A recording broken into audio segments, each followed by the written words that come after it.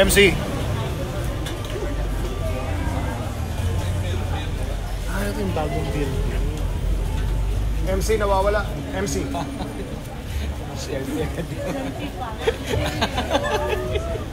Part one of our program is the dropping of the time capsule. May we invite everyone to, to witness the dropping of the time capsule. May we request our special guest for today to go near the time capsule. Let's have uh, City Mayor of Manila, Mayor Francisco Isco F. Dumagoso, LTO and West Regional Director, Attorney Karen Vinito. Chief of LTO Manila Licensing Center, Ms. Ligaya F. De La Cuesta, Chief of LTO Manila North District Office, Mr. Alvaro S. Villanueva. Chiefs of LTO Manila Cluster, Chief of Manila South District Office, Ms. Liwayway F. Basiling, Chief of Manila West District Office, Anthony Morales. Together with the PMP personnel from Station 3, Santa Cruz, Manila, Colonel Julius Cesar Domingo. and Captain Kerwin Evangelista. Alright, so now we will now be inserting the important documents. First would be the building plan.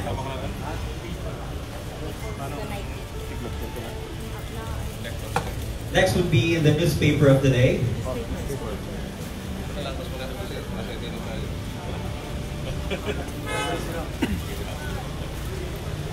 Na.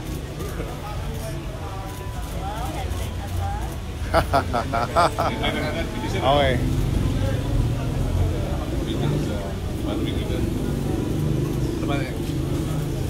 Next would be the.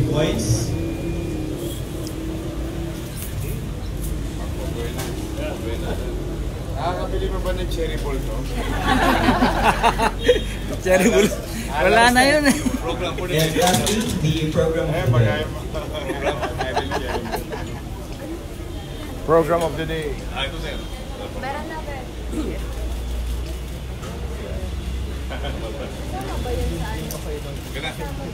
All right. We will now proceed with the dropping of the time capsule.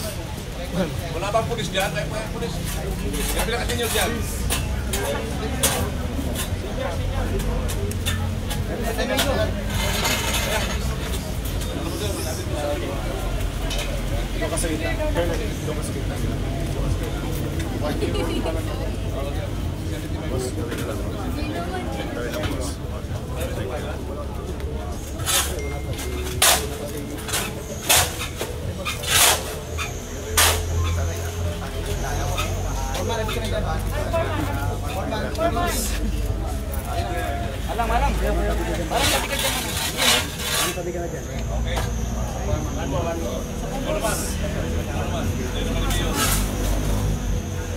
Si Mayor, mar- ma- marunong maghalo ng semento. Sanaya sa mayor. Yorme, sanaya. Yay! Of applause, please. Lahat ng trabaho. Lahat yan. Alam, alam ni mayor. We proceed to the MOA signing.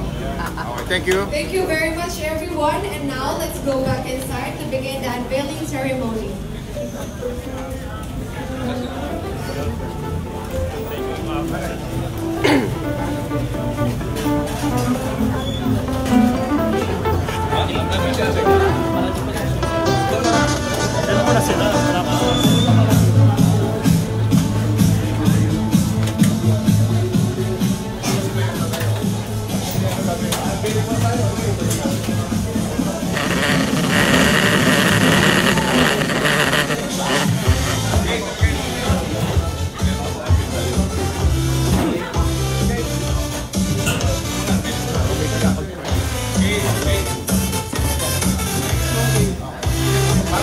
categoría.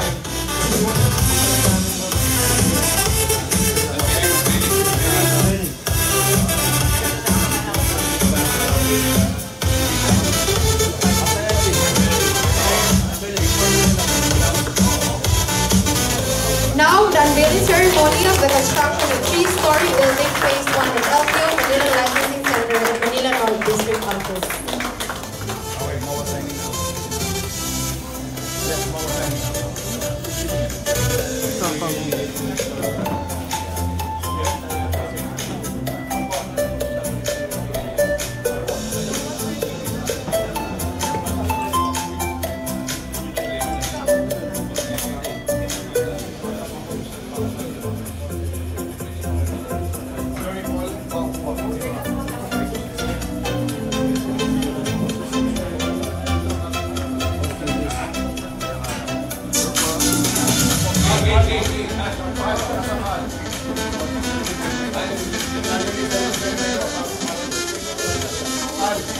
again, everyone, this is not just about the unveiling of the new building, but also today, which is also a significant day for the Manileños in partnership with the Land Transportation Office in regards with the integrated law enforcement system.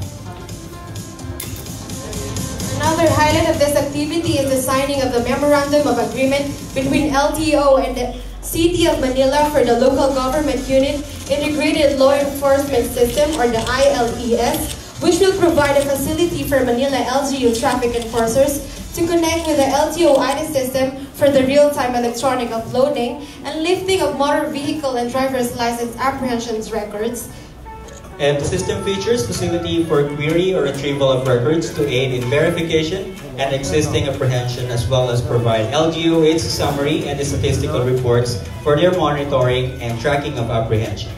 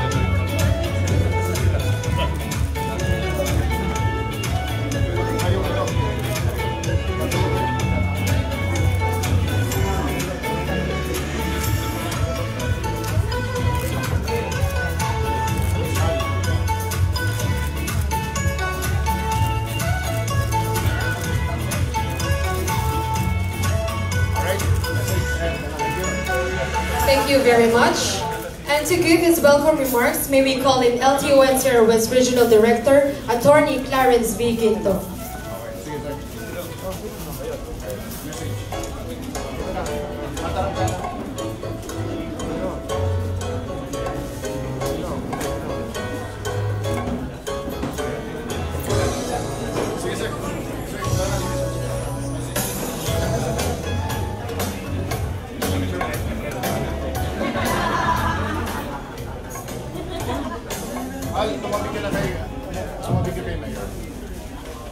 Our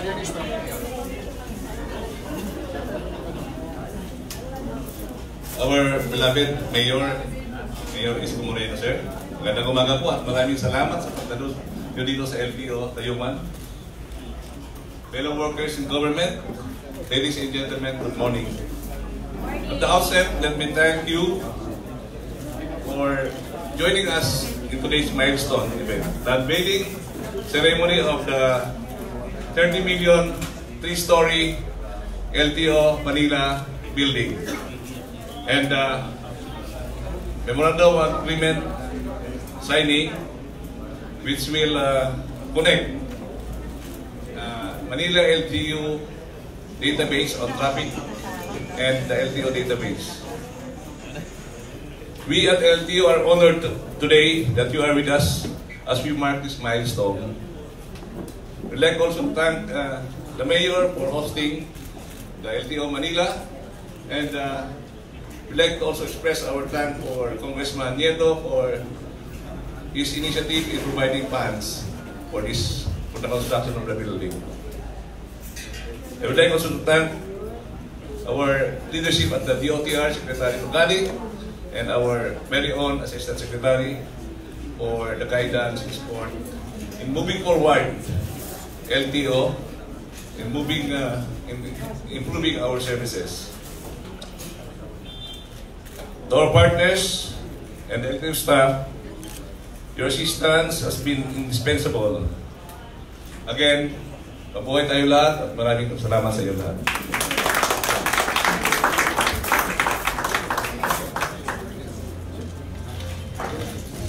Thank you very much, Artie Quinto. And now let me introduce to you our Mayor Francisco Esco Moreno Dumagoso of City of Manila.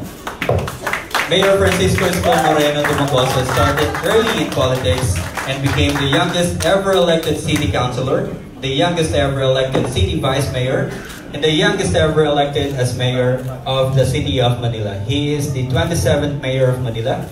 His vibrant transformation story has captivated the imagination of many people in the country, business leaders, and foreign diplomats. U.S. Ambassador Ku- uh, Kim described him the total rock star. Mayor Scott served as the Manila Vice Mayor for nine years and was already a member of the Sangguniang Panlungsod while he was only 23 years old.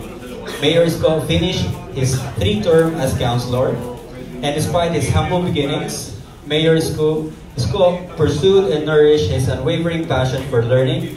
Not only he read books, especially about great world leaders, but also appreciates the value of think tanks. In 2012, Mayor Scott attended the Executive Education Program at John F. Kennedy School of Government in Harvard University. A year later, he finished the Emerging Leaders Executive Program, also in JFK School of Government in Harvard University. In the same year, Mayor Scott completed the Oxford Strategic Leadership Program in uh, SAID Business School, University of Oxford, and he is also a product of an executive education program at the UP National College of Public Administration and Governance. Mayor Iskoy Moreno received his Doctor of Humanities and Community Development degree from the Pamantasan ng Lungsod ng Maynila in the year 2014, a fitting recognition of his 18 years of community service while serving Manila as city councilor and vice mayor. With his background, he was appointed by the President Rodrigo Duterte as Undersecretary of Special Projects of the Department of Social Welfare and Development. Prior to this, Mayor Isko Moreno was appointed by the President Duterte as Chairman and President of the North Rail Corporation. Mayor Isko studied law at the Arellano University School of Law three years after graduating from International Academy of Management and Economics with a degree in Bachelor of Science in Business Administration. Some of the prestigious awards and recognition he received including the Most Outstanding Filipino in the Field of Public Service Award from Gawad America Foundation, an institution based in Hollywood, California, USA, and as one of the top 10 men who matter by People Asia magazine. Ladies and gentlemen, it is my distinct honor to present to you the man who grew up in slum in Tondo and who is now tasked to rebuild the capital city of the country, the Honorable Francisco Isco Moreno Domagoso, the Mayor of Manila.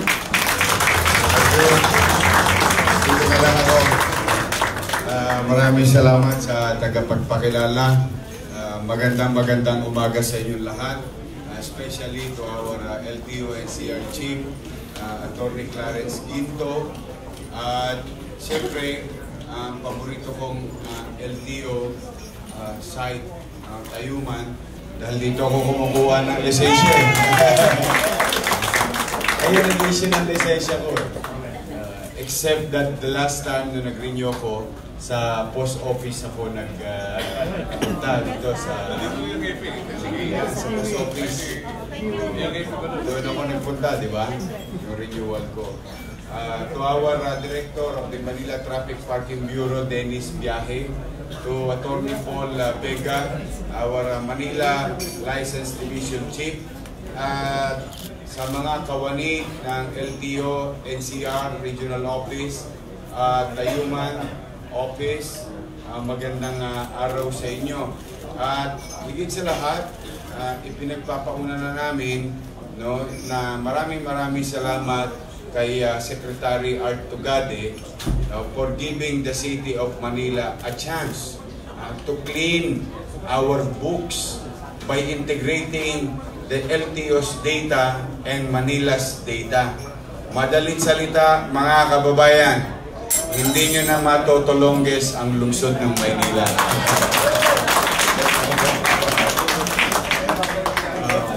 Yun, wala na ngayon lost-lost license. So,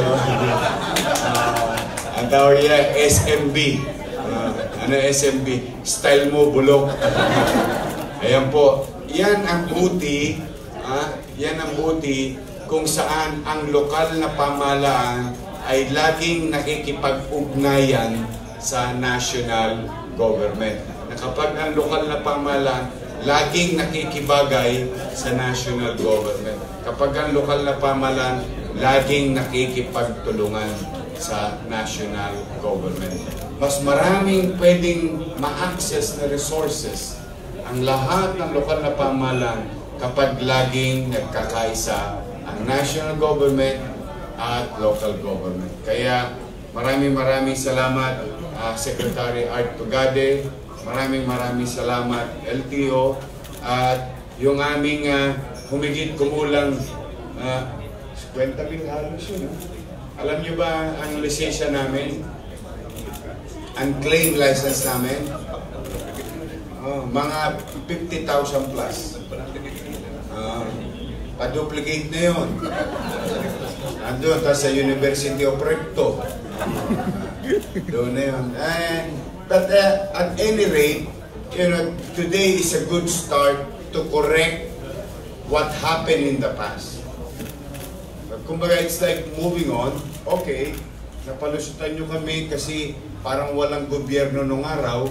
Pero what is important is may gobyerno na sa lungsod ng Maynila. At ang Maynila, as I promised you uh, two months ago, we will reintegrate Manila to the national government. And this is just uh, one of those proof already na we have done in the past week. Kaya sa mga staff ng LTO, ngayon pa lamang ipinagpapasalamat na namin. Ngayon naman, kung sakasakali para kami naman hindi hindi para gusto yumaman sa penalty. No, ang City of Manila ay ayaw kong yayaman ah, dahil sa kababayad ng penalty. Kasi ibig sabihin ay ah, walang disiplina sa aming syudad. Eh wala namang bayad ang disiplina. Tiway-tiway lang ang disiplina, laway-laway lang yun eh. O, kaya, oh, ito naman, ipinagpapauna ko po sa lahat ng mga kababayan natin sa buong Luzon, marahil, at partikular na sa Maynila, na mga nangahuli ha, yung kanilang lisensya sa nagdaang panahon at ang ginawa ninyo, itinakbuhan ninyo ang pamahalang lungsod ng Maynila. And to give a very good example, uh, may mga lisensya na ang penalty na umaabot na ng 80,000. Now, with the integration of data of the national government through LTO and with the integration of our data from Manila to LTO plus deputization na binibigay sa amin ng LTO para sa aming MTPB para sa mga kolorom, kambal at buntis. Hmm. Oh, binubuntis yung ano eh. Yung registration. The, oh, kalorom, kinokopya yung ah, meron pa kami nakita, sariwa pa, kaka-spray pa lang nung ano eh, nung dinding. But ito po, ulitin ko ha, sa lahat ng mga nangahuli namin na lisensya sa matagal na panahon. Alam niyo po yon kung nanonood kayo. Kunin niyo na po yung pagkakataong ibinibigay sa inyo ng pamahalang lungsod kung saan meron kaming general amnesty program.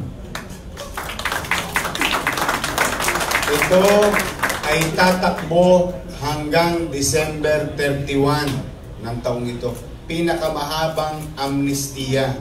Kaya kung ako sa inyo, yung dating tinakbo ninyo na dalawang bulig na umabot ng 80 mil. Pag nagyad ba kayo ngayon, ah, ang babayaran nyo na lang sa utang ninyong 80 mil ay 2,000 piso. Grab this opportunity. Kapag lumagpas na ang December 31 at sa awa ng Diyos, ah, sa tulong ng ating regional ah, director, Atty. Quinto, at na-integrate na namin at nagkaroon na ang City of Manila ng access, connectivity with the data. Darating ang oras, which is is just a question of time. Once na nag-renew ka, nag-renew ka ng lisensya mo, lalabas, hindi ka bibigyan ng LTO ng lisensya dahil meron ka pang penalty sa amin. So, yan po mga kababayan. So, ulitin ko ha, lahat ng mga nahuli namin, noong araw pa, tinakbuhan ninyo ang Maynila, ang pamalang lungsod. May mga penalty, surcharges, and interest yan. Now, this is your chance. We're going to give you another chance until December 31. Pay your OBR or TBR, Traffic Violation Receipt or yung lisensya nyo makuha ninyo. Maaring pansamantala kayo nakalusod, kaya sabi ko sa inyo, you cannot escape the long arm of the law. Di ba ba? Attorney, ang si attorney, si director, attorney to eh. Uh, yeah, I always remember what my professor said, justice and law, but uh, uh, yeah, you cannot escape the long arm of the law. So muli, sa LTO, Secretary Tugade, Maraming salamat sa iyo, sa mga kawani ng LTO. Maraming maraming salamat sa inyo. Nawa, uh, pagpalain tayo ng buong may kapal at ngayon ay maulang umaga at uh, maging ligtas sana kayo mamaya sa pag-uwi at uh, hindi sana kayo maabala sa panahon na kinakarap natin. Manila, God first.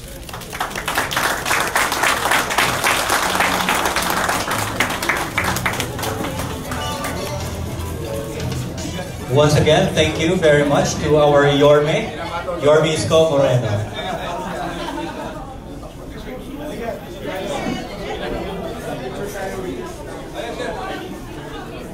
Uh, Tayuman, tapos ano, yung post office, tapos regional office. Etneb, etneb lang.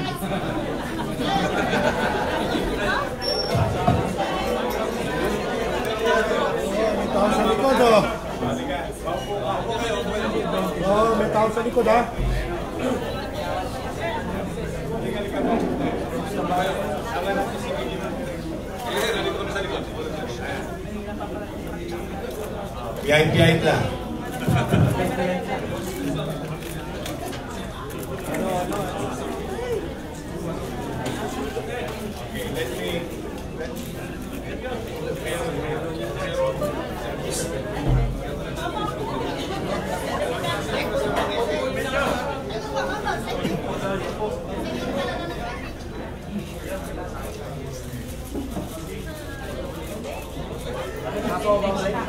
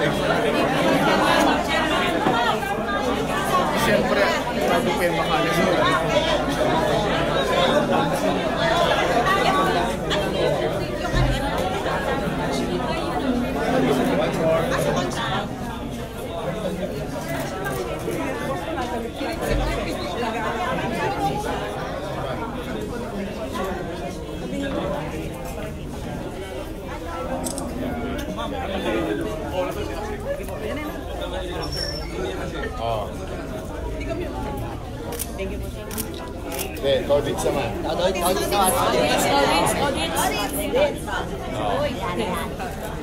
lahat ah.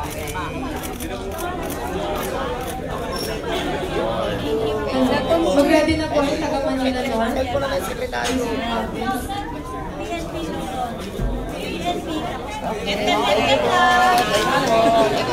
Oh, Loton. Sama lang kayo. Tama na.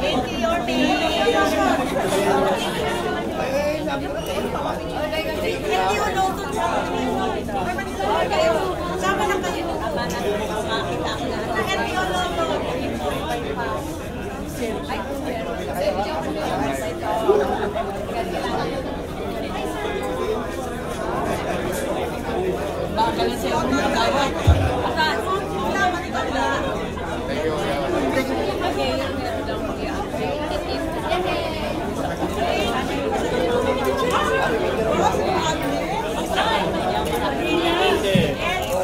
F, F,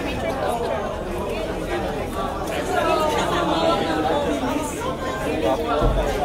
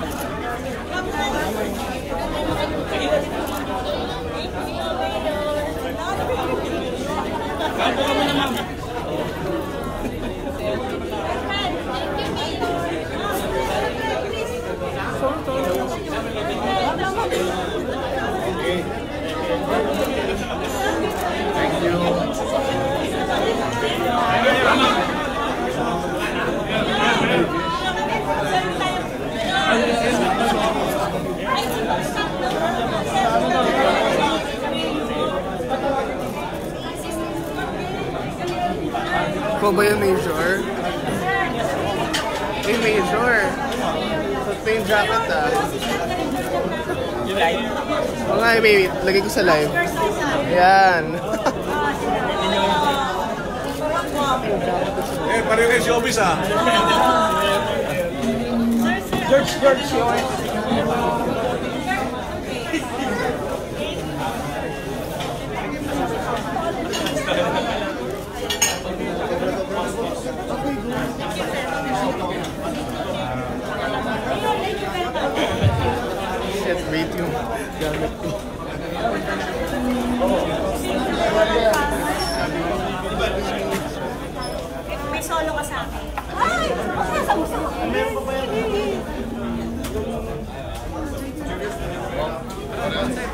vai embora. Então, né? Lá não tem como arrumar lá, como arrumar lá. Thank you, thank you, thank you very much, thank you.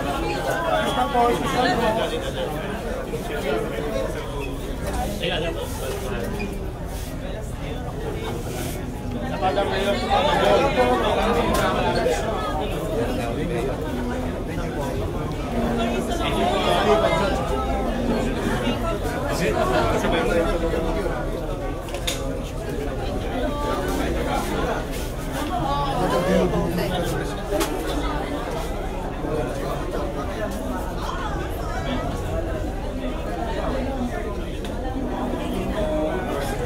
Alam po, alam po.